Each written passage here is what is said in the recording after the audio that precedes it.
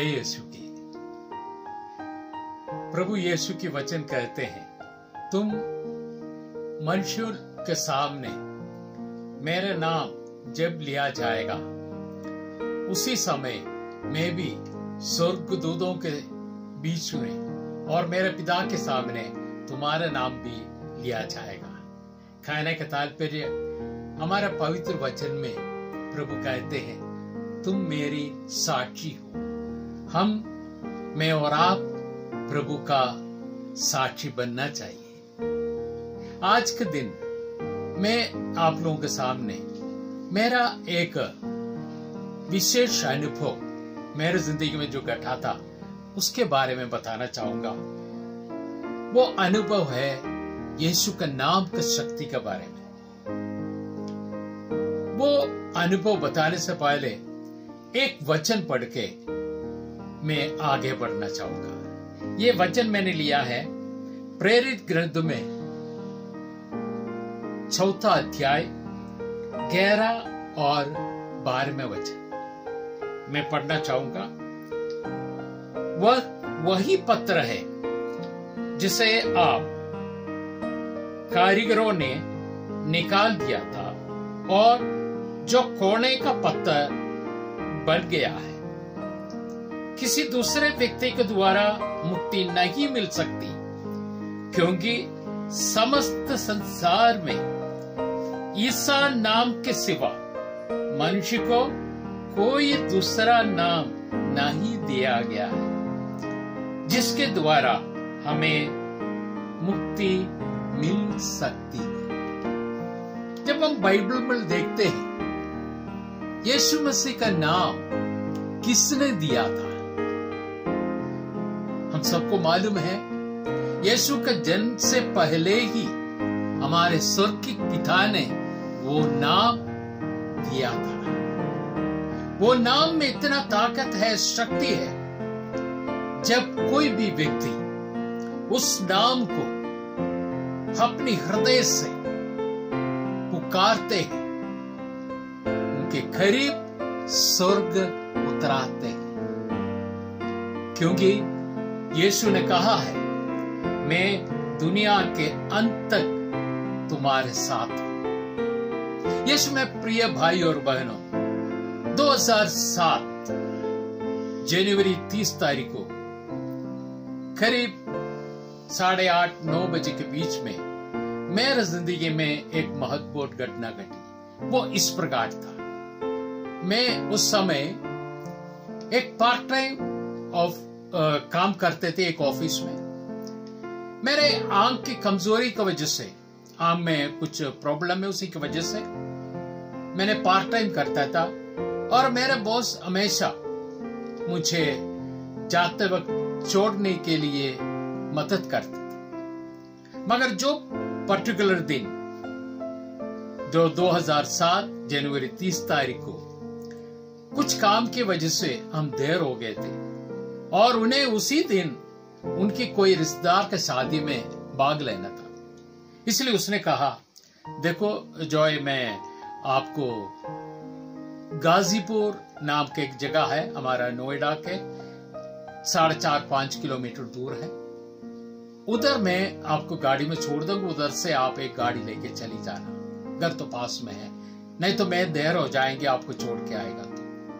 मैंने बोला, कोई बात नहीं, सही। मुझे उधर छोड़ दीजिएगा।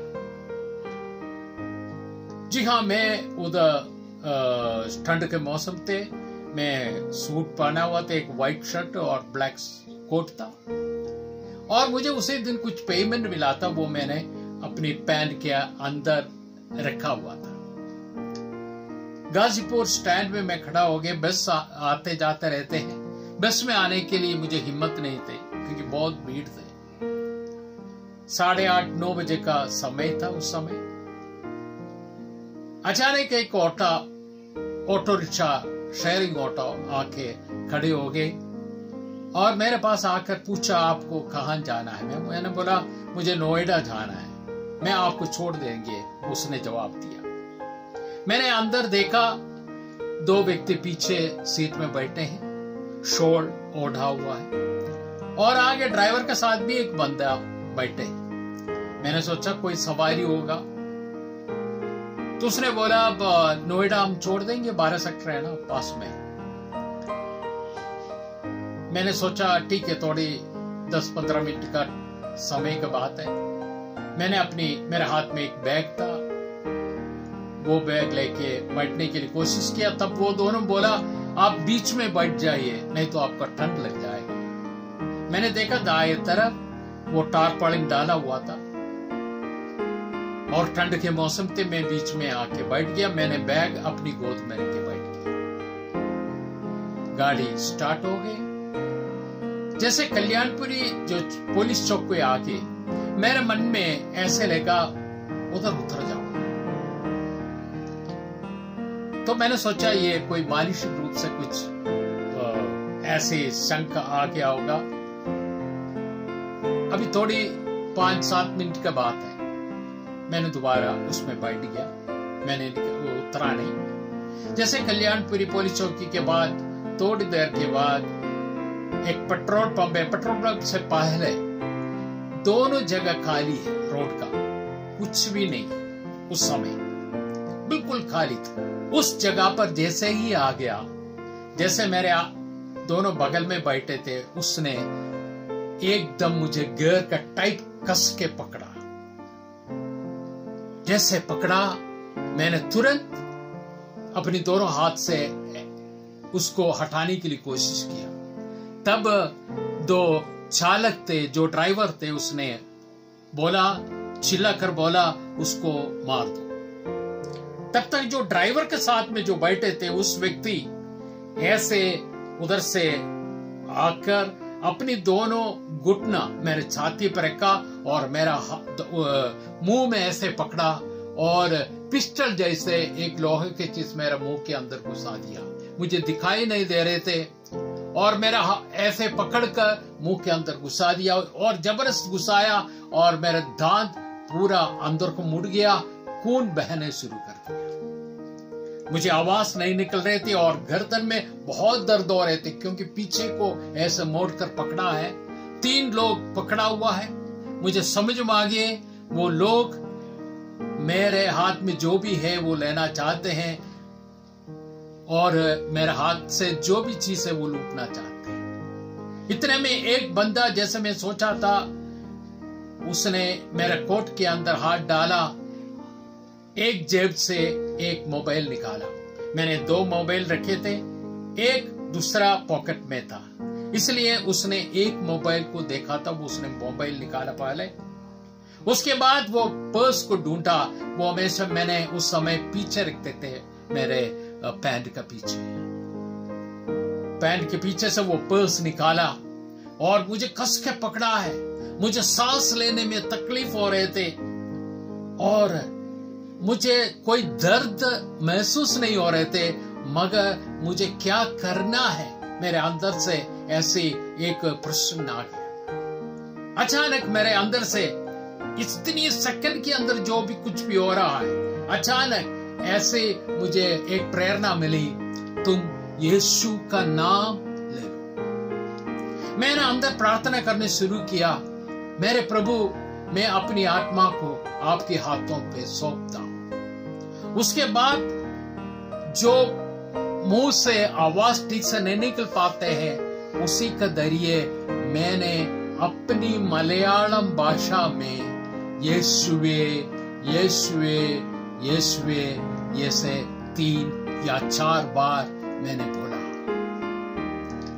उनको समझ में नहीं आया होगा मैंने क्या बोला है। क्योंकि एक तो आवाज़ ऐसे निकलते हैं और दूसरा मैं क्या बोल रहा है उनको समझ में नहीं आता। मगर मैंने एक चीज़ नोटिस किया उसी वक्त उधर एक ठरावट उन लोगों में मुझे महसूस करने लगा।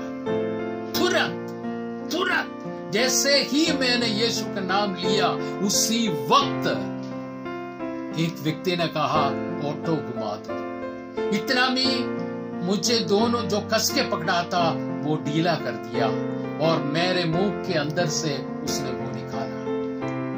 और ऑटो ऐसे मोड़ दिया कोई जगह पर और उसके बाद उसने कहा, आप उतर जाओ। मैंने अपनी वो लेदर बैग जो ऑफ़िस में ले जाता था, वो बैग मैंने अपनी गोद से पकड़कर नीचे उतर गया। मगर उसने छीनने के लिए कोशिश नहीं किया। क्योंकि वो सब डरे हुए थे, पता नहीं क्यों। और मेरे अपने अंगूठा में जो उंगलियाँ में जो शादी का रिंग थे और घड़ी थे। मगर कुछ उन्होंने छीनने के लिए कोशिश नहीं किया। वो बोला, आप जल्दी उतर जाओ। जैसे उतरने के बाद मैंने पूछा, मेरा पर्स वापस कर दो। अगर तुम्हें पैसा रखना है, पैसा रख लो, क्योंकि उसके अंदर मेरे एटीएम कार्ड, मेरा लाइसेंस और आइडेंटिटी कार्ड सब कुछ है। वो बोला, मैं दे दूँगा, आप चलो चलो चलो करके। मैं जैसे उतरा, उसने ऑटो लेकर भागने शुरू कर दिया। मेरे पीछे दौड़ा। हेल्प हेल्प कर कर मैंने आवाज़ सुनाया, मगर किसी ने भी मुझे मदद नहीं किया, क्योंकि जो लाइट का रिफ्लेक्शन के वजह से मुझे बाद में पता चला, मेरे जो व्हाइट शर्ट में पूरा खून बहरा, बह रहे थे और खून की जो छीटे दिखाई दे रहे थे। लोग इसी वजह से कोई गाड़ी नहीं रोका।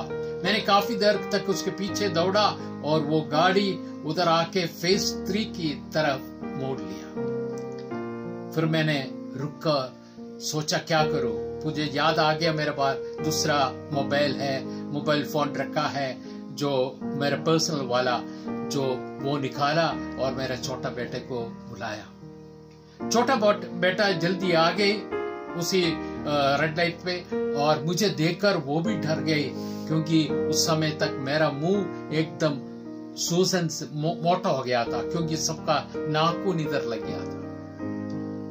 और उसने बोला, पुलिस में हम कंप्लेन लिख देते हैं। मैंने बोला, उससे पहले घर चलते हैं। घर पे आके जैसे दरवाज़ा खोला, मुझे देखे मेरा मम्मी और मेरा पत्नी रोने शुरू हो गई मैंने अपनी चेहरा शीशे में देखा, भयानक थे, क्योंकि चेहरे में पूरा नाखून की ऐसे पकड़ा हुआ उसका वो थे और चेहरा एकदम फूल गए थे। हमने तुरंत, मेरा बेटा बेटा भी आ गया, फिर उसके बाद हमने कैलाश अस्पताल में गया और एक इंजेक्शन वगैरह लिया। और दूसरा दिन हमने जो डेंटिस्ट के पास गया, क्योंकि मेरे आगे का ये दांते हिल रहे थे, पत्ते के डॉक्टर ने चेक करने के बाद बोला, शायद ये नीचे का और ऊपर का एक दांत निकालना पड़ेगा, क्योंकि वो बिल्कुल रूट से हट गया है। मगर आज कुछ नहीं कर सकते, मैं एक दवाई लिख देता हूँ, वो खा के तीन दिन के बाद आ जाना, उसके बाद मैं देखूँगा प्रिय भाई और बहन, मेरे मन में थोड़ा सा दुख आ गया था। आगे का दांत निकल जाए, कितना बुरा लगेगा। घर पे आगे। मेरे प्रार्थना ग्रुप के सदस्य कोर ग्रुप में मेंबर्स उस समय एफसीसी सिस्टर्स कुछ लोग हमारे कोर ग्रुप में था। और खास कर हमारे एफसीसी का सिस्टर थे सिस्टर फेलिसिटा आज इस दुनिया में नहीं है। वो स्वर्ग में बैठकर हमारे लिए प्रार्थना करती होगी। वो लोग आके मेरे लिए बहुत प्रार्थना की। आँसू बहाकर प्रार्थना जाते वक्त सिस्टर फिलिसिटा ने भी कहा, जो कुछ नहीं होगा। प्रभु यीशु आपको आशीष दे यश में प्रिय भाई और बहनों, तीसरा दिन मैंने दंदिस के पास गया, डॉक्टर चेक कर लिया। उसके बाद डॉक्टर ने कहा यह अभी निकालने की ज़रूरत नहीं है, लग रहा है वो सही हो रहा है। आज तेरह चौदह साल हो गया आज तक मेरे दांतों में कोई प्रॉब्लम नहीं हुआ। सारे महत्व मेरे प्रभु यीशु को दे रहा हूँ। मेरे ये अनुभव आप लोगों के साथ बांटने का मतलब यही है। जब हमारी ज़िंदगी में ऐसा कोई रास्ता नहीं हो ऐसे अवसर पर या हृदय टूट कर हृदय से जब हम यीशु का नाम लेते हैं स्वर्ग उधर उतर आते हैं। उतर आते हैं, स्वर्ग उतर आते हैं।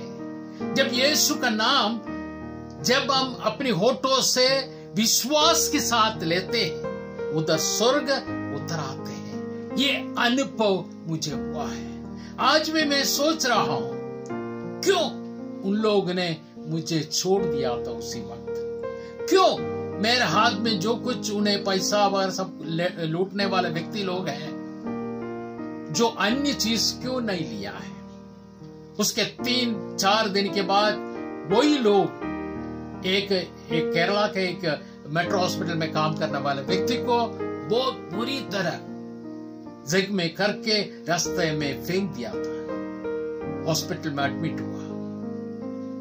यही गैंग करते थे। मगर बाद में पता चला पाँच छह महीने के बाद उन लोगों को पकड़ा मैंने हम लोग पेपर में पढ़ा था। मेरा कहने का तात्पर्य यह है। यीशु में, यीशु का नाम में बहुत ताकत है, शक्ति है। मुझे उस समय सांस लेने के लिए भी तकलीफ़ थी। और कोई मुझे मदद करने के लिए उधर नहीं आ सकते थे। उस समय मैं अपने हृदय से टूट कर यीशु के नाम लिया, उसी वक्त चमकदारी ये अनुभव यीशु का महिमा के लिए आप लोगों के सामने रखता हूँ। जब भी आपका ज़िंदगी में भी ऐसे कुछ घटना आते हैं, कुछ अनुभव आते हैं, तकलीफ़ आते हैं, अपने होठों से एक बार यीशु का नाम पुकार के देख। यीशु से कहिए यीशु आप है मेरे करुणामय प्रभु। आपका करुणा में मैं आश्रय रखता